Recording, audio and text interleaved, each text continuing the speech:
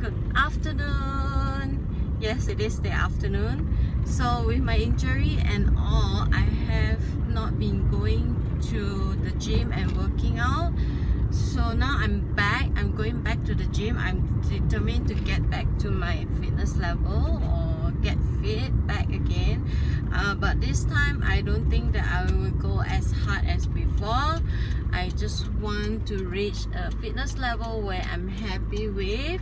I'm not going to be crazy dieting or anything like that. But yeah, since my injury and all, I have not been working out at all. So my fitness level has gone down dramatically and I'm not quite happy with the way my body is now so I'm going back to the gym I plan to go five times a week this month. Uh, not because I'm pushing myself like crazy. I'm a member of Vitality with Fitness First so there is a rebate for going to the gym at least 24 times in 3 months. And because of my injury I stopped going to the gym so currently I have a lot of sessions to catch up. So that's why I'm going five times a week this month. And yeah I just thought I show you guys how to start going back into working out or how to start working out if you're new and you want to start working out and you don't know how you should do that so I'm going to show you guys that so yeah follow me on my journey to start getting fit again see you guys at the gym here I am at the gym. So I usually start my workout with a warm-up session on the treadmill. What I do is I'll alternate between a 1 minute interval fast-paced walking and running session. Now I'm going to find my spot to start my circuit training basically. So this is the area in Fitness First Empire where they do all their circuit trainings and stuff like that. So yeah, I'm just figuring out where I want to be. Basically, that's it. Now that I've got myself set up, I'm tying my hair and getting myself ready for my circuit training. Now I start my circuit with a half burpee, 10 reps of that.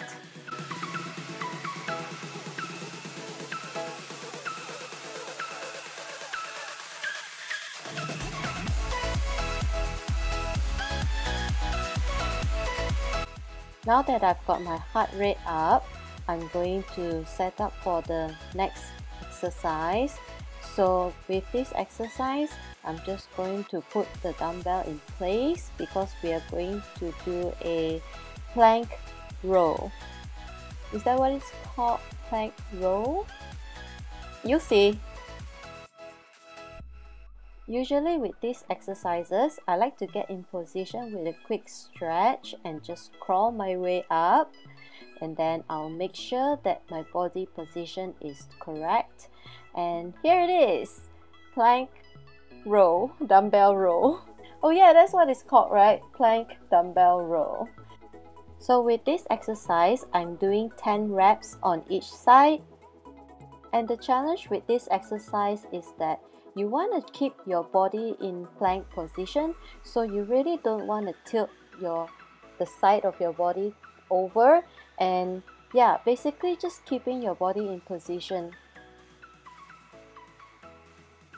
And then you're going to feel your core burning trust me.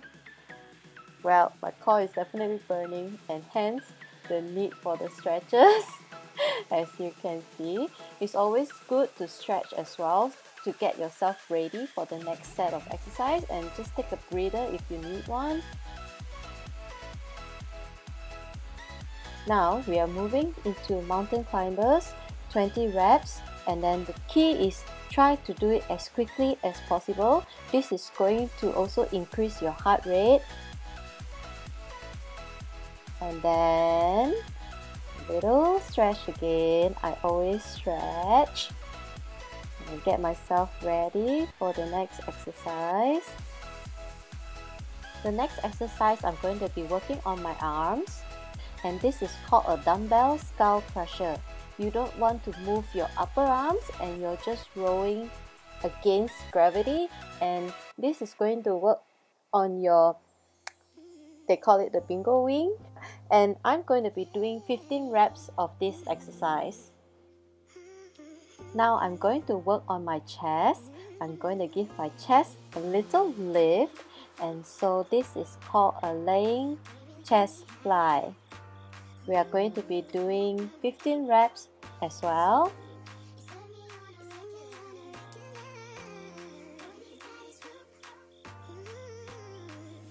Now that I am done, I'm going to set my dumbbells down and I'm going to get in position to work on my abs. I'm going to do crunches. These are not your typical crunches. I actually learned this from a class I took at Chi.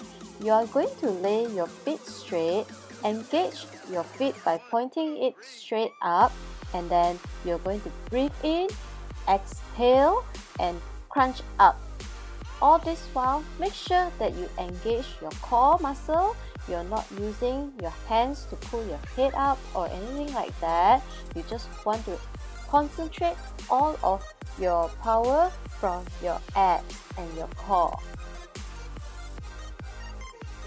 Next, I'm going to work on my lower abs and this is called a lying leg lift so this exercise, you want to put your hands in a triangle shape behind your backbone, a lower lower backbone basically. The reason why you want to put your hand there is because you don't want your body to lift up when your leg goes downwards. Hence, you need to make sure that your back is really flat on the floor. And then inhale, legs go down, exhale, up.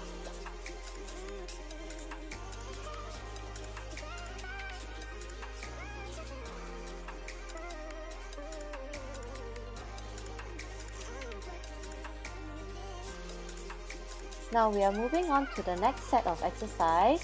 These are just basic squat. Make sure that your feet is shoulder width apart and then your toes are pointing straight ahead and then clasp your hand to balance yourself and inhale down exhale up the one thing you do not want to do with squats is when you are on your way up don't go all the way and engage your knees because this will put pressure on your knees and it's not good for your knees. When you're going down, the weight should be on your ankle and on your way up, slowly balance yourself. Remember, don't engage your knees. This next set of exercise is going to look a bit weird. This is called a weighted sumo squat. So the dumbbell that I'm using is a 12 kg dumbbell. You can use whatever weight you are comfortable with. You can always start at 6 or 8 kg before you move to 12 but I'm good with 12 so I'm doing 12 and I'm going to be doing 15 reps of this exercise. Now I'm going to work on my arms again. Yes, I know guys. my head is cut off. I didn't adjust my camera, so sorry guys. Anyway, I'm working on the front and the side, and that is one rep for me. Normally, people only do on the front, but I do the side as well. Somehow, this gives my arms better definition so I'm liking this exercise a lot. I've been doing this for a long time. And for today, I'm going to be doing 15 reps of this exercise. Now that I've completed my first set of this circuit training, I'm going to take a 30 second break and then I'm going to do another set of all the circuit training one more time. After completing my second set of circuit training, I'm going to do my cool down stretches. So far, I've been doing very well with this set of exercise. I don't really have much pain the next day. Uh, I think the biggest contributing factor is that I always do stretches. Uh, I always cool my body down and also I do not push my body too hard in the beginning you really really do not want to push your body too hard because you don't want to put your body under stress i think that's my biggest advice guys so remember to have a exercise that you enjoy and then do as much as you can. And after that do some stretches cool your body down and then go for your shower Alright, that's it for today's workout. Remember to click the subscribe button if you'd like to see more workouts from me. There are going to be lots and lots and lots more video on my workouts. Also, I'm doing Project M, M for Minimalist. You can check that video out after this. I will link it at the end of this video. Thank you very much for watching. See you guys in the next video. Bye bye. I've been so caught up in my job. Didn't see what's going on And now I know I'm better sleeping on my own